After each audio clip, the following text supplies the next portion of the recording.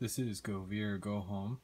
I want to welcome you guys back to another kind of a layout update. Also, wanting to talking about uh, some wiring, track, and uh, roadbed.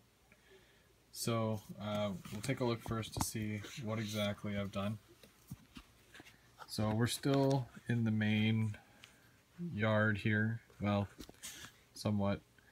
Uh, basically, got my entire back section basically laid out and uh, it's all attached. I've got wire going to it. And I've got uh, a lot of switches down with all the little ground throws. And then we move to the uh, the actual the main line here where there's it's a four four track main. Uh, well technically three with a uh, passing siding but uh, just kind of it almost looks like it's four main line just from where I am anyways.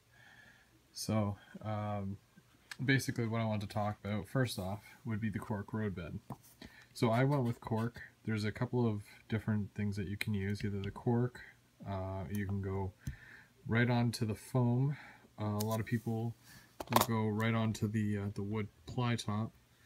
And there's also um, I don't know if I mentioned it but there's foam uh, now there's nothing wrong with using any of them uh, everybody has their own personal preference I'm old school so I prefer the uh, the cork uh, basically it's really easy to put down um, I use the no more nails in the in the caulking gun. There you go. That's what it looks like. No more nails. So once I figure out where the center line is, there's two strips here. So I make sure there's a center line, which would be the center of the track. And I put a strip of glue down and then basically I use uh, this here to kind of spread it out and then I tack that down with uh, these are sewing uh, sewing needles uh, there's actually there's two packs in here. Uh, for one pack there there was quite a few but I'm like ah, I could definitely go for you know more. Because obviously if you're doing a large section you want to have you know lots right? So that's basically it right there. Uh, I think it was like three bucks, and it was 50, so I've, about 50 I believe, and so there's like a hundred in here. Um, you can get those at basically like Walmart or something like that. Um, a sewing store possibly. It's just a cheap alternative, and you know if you break any, you'll lose it. It's not a big deal unless you step on it. Then that's a big deal. So I got uh, a little container here, which they all fit. I also use other containers for things like track nails. Um, I got a pack of track nails, put it in here, and uh, I know where they are every single time. So now I glue down the uh, the cork, but I nail down. Whoop, I nail down the track.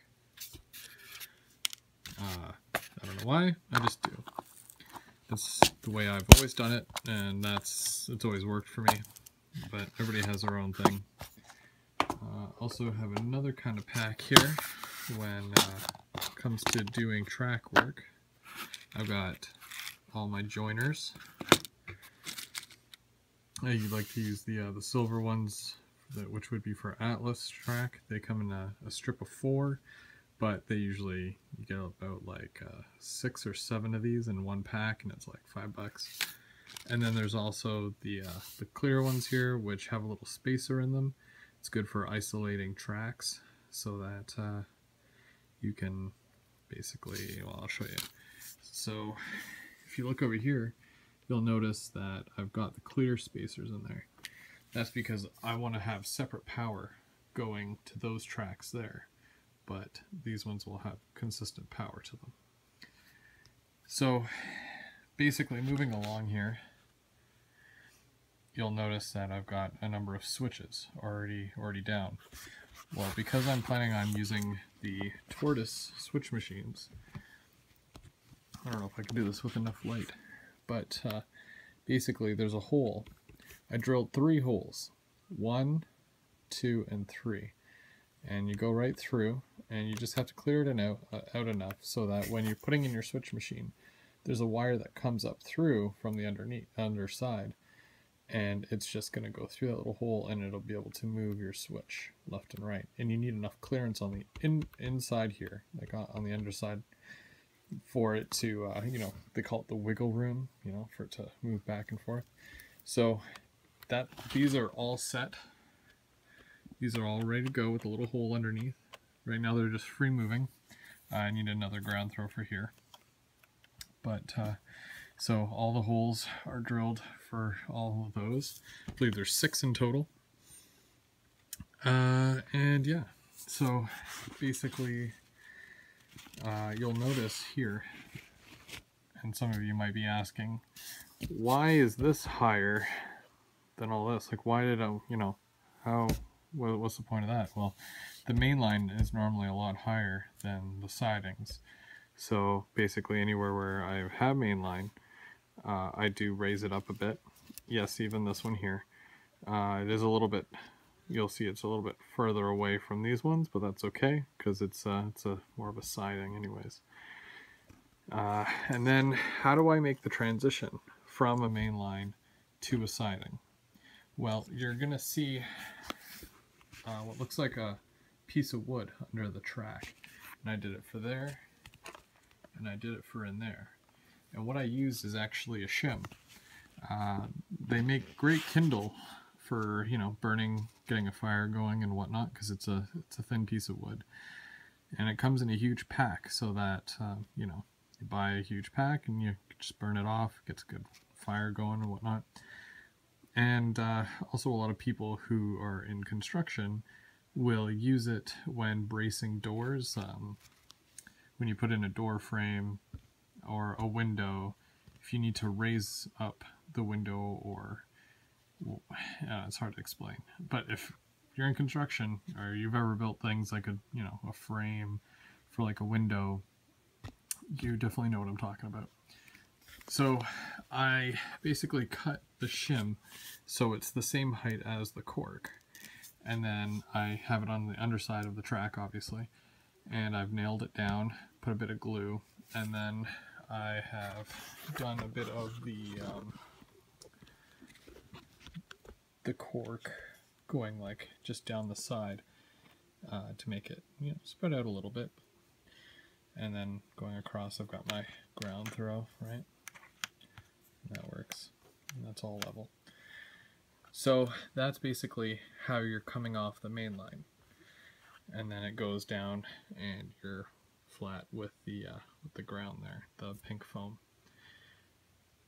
So that's something that uh, I can definitely recommend doing. It does work. Um, I've ran the uh, the cars over that several times. It's it's a very mellow transition. If you have something like uh, the Walthers passenger cars, they've got a you know a fair amount of detail on the underside, and they do, do hang quite low. Um, you might might want to consider not doing it because it might scrape a little bit, but most other locomotives and cars, box cars and all that, uh, they'll go over that just fine. Uh, next, no, saying a lot. I've gotten a lot in so far, but um, it's you know it's all valuable information. Uh, so basically, as per my um, I guess my like what I need for my layout, uh, a programming track. So basically I have it capped here and I have it capped here.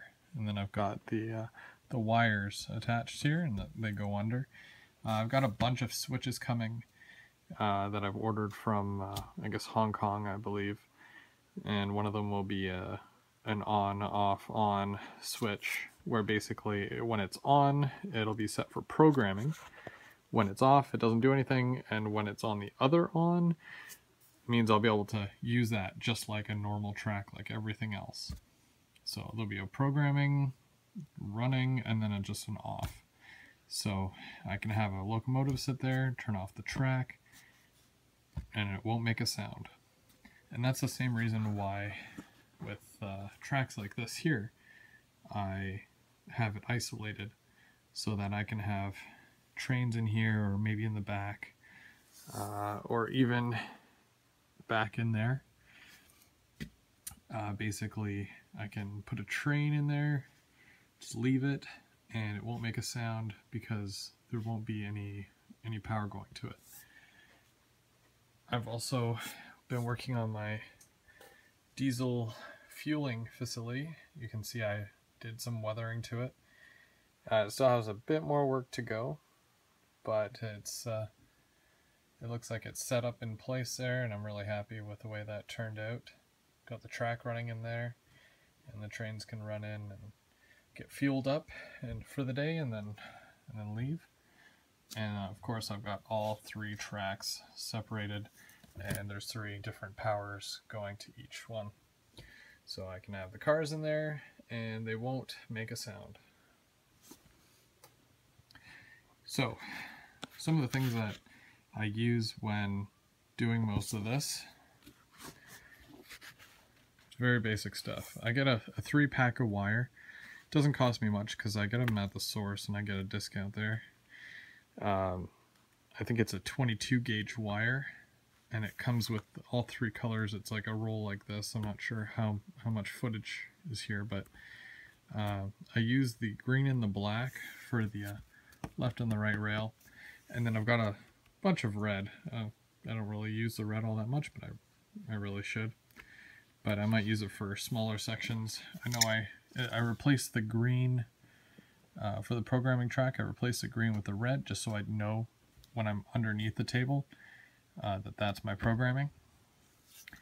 Uh, I also have a lot of these barrier strips. Basically, with the old layout, I was using these. They're very expensive well, for what you're getting and for how many you would need. Um, basically, with the barrier strip, or with the way it works, if you attach a wire here, that will flow through to this one, and then you have a wire going out this way. So what I do, I jump the barrier walls. I do four, uh, so I can have uh, this side is my left rail, and these four here as my right rail. Now, this is the kind of setup I use for my main line. So when I drop my wires, my feeders through here, and there's going to be another one here, uh, they go through the table and then they connect with the left on one side and the right on the other, and then they're all attached. Then I'll have two wires, one from the green and one from the black, running from this end all the way over to this end, or about where that car is there, where there's more feeders dropping through with another one of these, and it would attach to the same colors. So basically that would be my main bus, and this is going to be my main bus wire where it, you know, it connects right through, and it's going to go all the way around, and yada yada yada. so basically that's what I use for my main. Uh, these ones are a lot heavier and uh, I just find that they're better. Uh, they come in both the 8 and the 4. Uh, I've got mostly the 8, but I've got a couple of 4s that I can also use just in case. I also ordered a bunch of these from Hong Kong. Uh, they're already all here. Or I actually had them before I even moved. Uh, you can cut them. I have a bunch that are 2s, and I have some that are a little bit bigger and I've got the fours and basically I use them for the feeder sections. Now uh, this is a very shitty, excuse my French, uh, diagram of how it is. so imagine this black strip here as the main bus wire, okay? And this here is the diagram of the track layout, which is going to be this. So I have little my little toggle switches on here, which they're not there yet, obviously. But, uh, and oh, this is not permanent, by the way. This is just my mock-up. Uh, I'm to do a lot better of a job when it comes to my uh, switch thing. I don't know what you call it. Uh, track board? yeah. But uh, basically, my controller, which is this here, uh, I'm sending the power from that to the the uh, the main bus line, and it's going to travel all the way around the layout. From there, I have the track, which is uh, I guess the main line or whatever. Uh, so if that's the main line, I've got the wires going to it, right? Just off the feeders. There's one there. There's one at this end. They usually suggest to do, uh, if you've got a modular layout, do drop a feeder at each end. And then when you connect it, you've got two connections, one at each end of your uh, module. Uh, kind of like what I have here. If this huge table here was a module, I have power there, and I have power there. So, next, after dropping the the power from the track to the, main, uh, you've got also your siding here. Now this is just like those, okay? And this rail is not actually attached to this, this main line, okay? So there's like a, a block there, a wall. So consider this to be dead. So there's going to be switches on here. So the wires are going to go and they're going to run out of the table and they're going to go into the back of this board. And then it's going to connect to a switch. But how do these get the power? Well, you just run a power from the main line to the switches.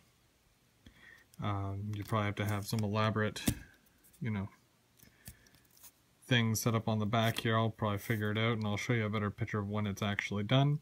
But basically power from the main to the back of the switches and then you run from the switches to the side track. So when I flick a switch, it sends the power and then this is a live track. So you'll be able to drive in, flick the switch, it powers off, and then you're still using the main line for whatever else. Pretty straightforward, right? Well, I'm pretty sure I'm making it sound a lot easier than what it actually is, because I'm sure, you know, there's different ways that you can do this, but I mean, this is the way I have understood it. Uh, so this is the way I'm going to do it. Um, there's a couple of other things that we can go over. Also, you've got a lot of loose hanging wires underneath the, the layout. So I got a pack of these. They're like little C clamps where basically uh, there's a nail and it holds the wire up. You just gotta nail it up. And also you need some screws. I've got these very tiny ones here. Uh, 17 pieces wood metal screw, 4 by one uh, and basically it fits into the little hole in the center there and it just basically you nail it to the the bottom of the layout and I'll kind of show you all these here so you can kind of see how the wires come through and they attach and then I've got one of the the plastic ones up there. This is the entire yard. So those are four sorry three tracks. And those three tracks will run the power to those will run all the way up here to the back of this for these three tracks. And there's going to be three switches here.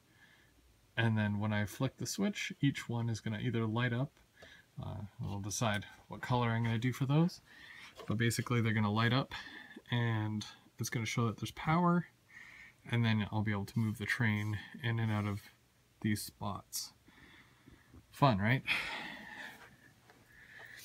and all I'm using is basically uh, it's about a, a, foot long feeder cable that I attach on the underside of the uh, of the rail here. You'll see where I have it.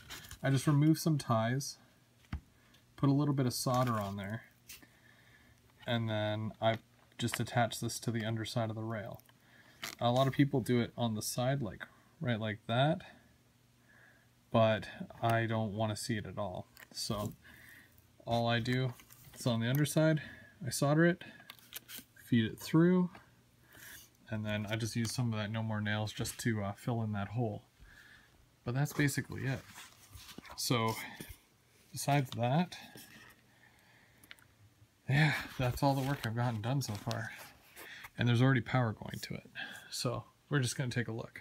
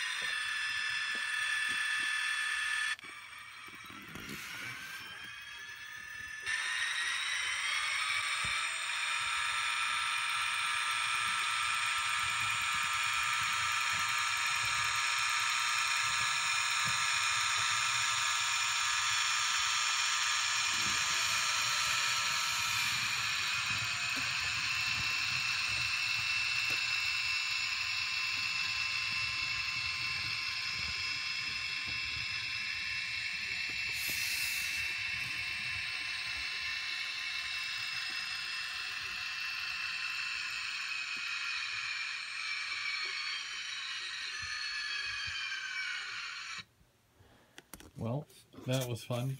Uh, didn't really run the train very far, but it basically it runs from that end of the layout to the other end of the, well, you know, that layout. But it, it doesn't go all the way around yet. Uh, I've still got a few more tracks to lay here, and then I'm not sure if I'm going to go up this way and start in this section, or I'm going to go into the train terminal it would probably be more beneficial to go this way into the train station and whatnot and work that way um, just because uh, there's going to be a, a lot that I have to do over here and I'd rather get the main line going this way and go back there and work on all that stuff and kind of move it out of the way but yeah. But anyways uh, you know thanks for coming by uh, to all my new subscribers if you want to see more stuff like this, uh, you know, give it a like. Stay tuned for more, and uh, we'll see you. We'll see you soon. But uh, I do have a train to catch, so uh, until next time, I'm Go Via. Go home. Have a good one.